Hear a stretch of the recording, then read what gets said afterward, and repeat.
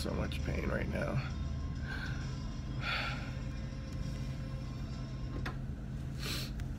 I'm in so much pain right now. I still have to finish my bus run.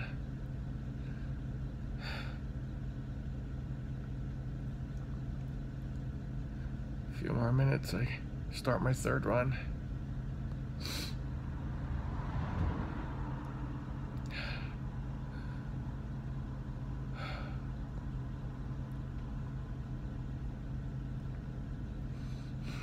I try to be strong. I try to think of others who have it worse than me.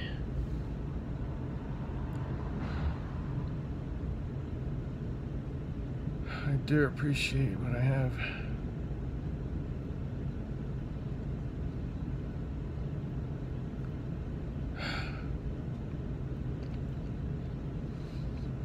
Facts are the facts are the facts.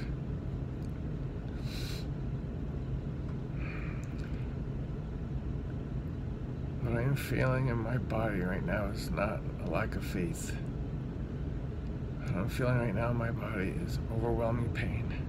It's on the verge of crippling me. I know the Lord will get me through this last run, get me home where I can lay down for a little bit. I don't know if I'll make it for my second run, but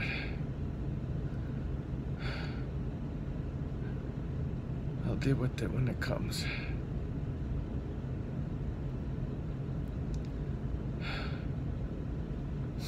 I gotta go finish my third run for this morning. Bye.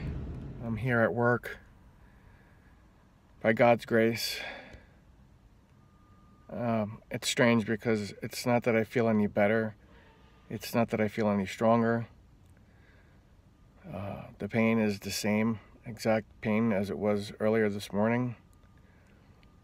But it's God's grace and His strength miraculously pushing me to be here and uh, will be with me as I do my afternoon bus transportation, which I really enjoy a lot.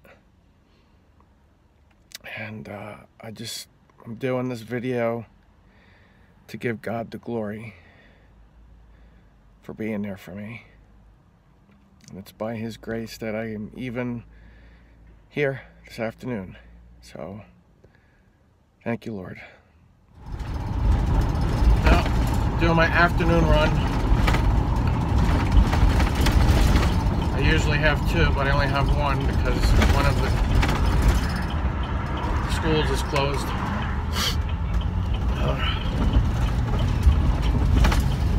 God's grace has been carrying me throughout the day. Thank God it's a beautiful day too, sunny, warm. The Only way I can explain it is that I'm like in this Holy Spirit bubble that's, you know, I don't want to say pushing me, but leading me where I have to go and inside this bubble of strength and grace.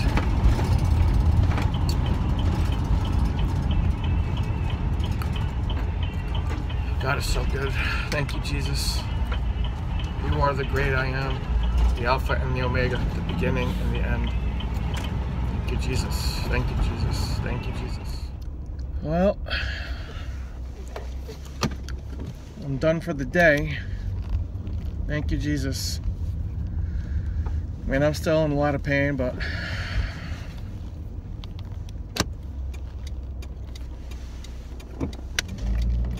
um, I made it through the day. Uh, Monday nights, my church has uh, women's and men's Bible studies individually, separate. My fiance Maggie goes to the women's Bible study, and when I can, I like to go to the men's Bible study. They start at the same time and they end at the same time. I'm looking forward to going there. Hopefully, I can make it. physically speaking. a rough day. I had to uh, lay down during my break in between my two shifts. I read my Bible devotions for the day. I prayed. I uh, reading another book which is on prayer. The pastor gave us who are in the prayer team. It's very, very good. And these, uh, you know, reading God's Word and reading good, sound, godly books that help explain the Bible and the topics of the Bible are really good and encouraging and they're feed you know they feed my soul. They feed my my brain helps my brain to you know break things down better and assimilate them and take them in and then you know deposit them where they got to go in their, in their own folders and because um, it stimulates different parts of the brain which is very important. But um, I'm gonna try and, and uh, look for this one clip in a movie called The Robe that was made, I believe, in either the, I think the 60s, maybe late 50s, early 60s. And it's about a man who's a centurion who lived in Rome with his parents and his, you know, sisters. And um, he got himself into hot water with a man who would become the emperor. And so his punishment for offending this man was that he was sent to Jerusalem, which at that time was not the greatest place to be in the world. Uh, actually, it's kind of not such a great place to be in the world. And what this future emperor figured he'd do by sending this centurion there was to basically, you know, he would figure he would die and would get rid of him. But um, I don't want to give away more about the movie because I think you should watch it. It's really cool. It's called The Robe. Great actors. I'm sure it won awards back in the day. I actually have it on VHS cassette tape. Uh, but there's a scene in there where a woman who was a cripple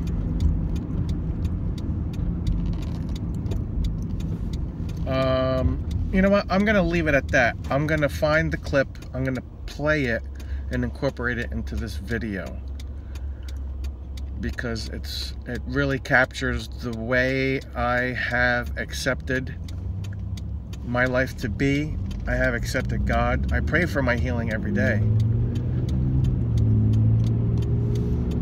Uh, actually, that's not true. I do not pray for my healing every day. I pray for my healing every once in a while, maybe once every couple of weeks. I do pray for God's strength and grace keep me going and that He would show me mercy. I pray for others for their healing. Uh, look up, his name is Nick Vujicic. And he wrote a book, Life Without Limbs, and he is such an inspiration look him up. Uh, I, I would do a disservice if I try to explain this guy. Nick Vujicic. Also, you can look up a woman. Her name is Joni Eareckson Tada. And she was Christian. And then I think she was in her early teens.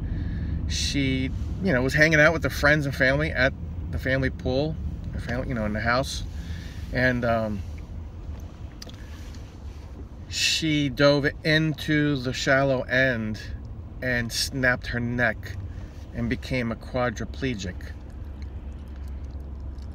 And she was very, very mad at God and the world for the longest time.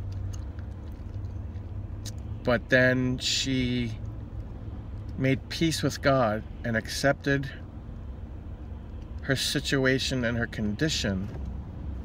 God has used this woman who is now, I think, in her 60s, has used her mightily.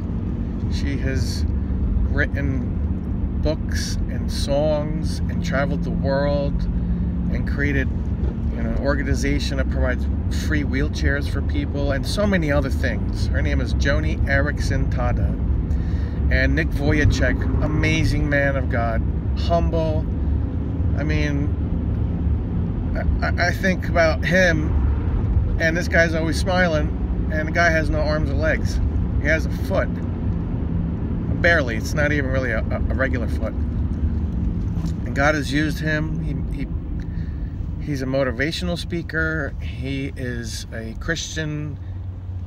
He goes around to churches and you know encourages people. He goes to men's prisons. I watched a video he went to a men's prison and he, you know, um, said what was on his heart and he was then, at, you know, he asked if he could be put on a table as the men were leaving the room. And these men came up to him crying and hugged him. Man after man after man that was crying. He cried and they hugged him and they thanked him for coming. God used him in a mighty way. You know, um, like I've said in the past, I would never have prayed for the severe medical condition that I'm in. But since it has happened, I've accepted it. I have not given up on complete healing. Whether the Lord does it supernaturally, like, you know, as a miracle, or through, you know, doctors and medicine. Um, you know, but in the meantime, I'm living a life full of hope and promise. And God's been using me to minister to people who are in similar medical conditions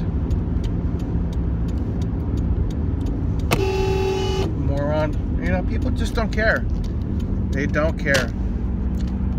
God bless you, okay?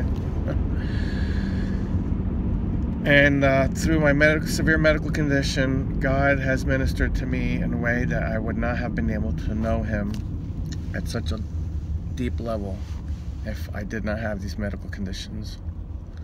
So, um, I do these videos about me being in pain because I want to encourage others that you know there you can live a life a full life a promising life no matter what your situation is. And there's millions of people who have it a lot worse than I do.